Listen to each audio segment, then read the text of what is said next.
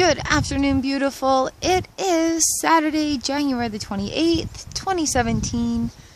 And I think today's moment of beauty is just about how awesome nature is and how perspective is different as we grow up. This is the eaves trough of my house. Now, as a kid, I would have thought that was the coolest thing. Oh, that wind is cold as an adult, I'm sitting here going, okay, what can I do to make this drain better? So yeah, that's just it. It's just a little thing on perspective. That is so icy up there. I'm worried for my eaves troughs. But at the same time, it looks absolutely beautiful. So there we go. It's our moment of beauty today. Perspective is a beautiful thing. It's a gorgeous, gorgeous afternoon.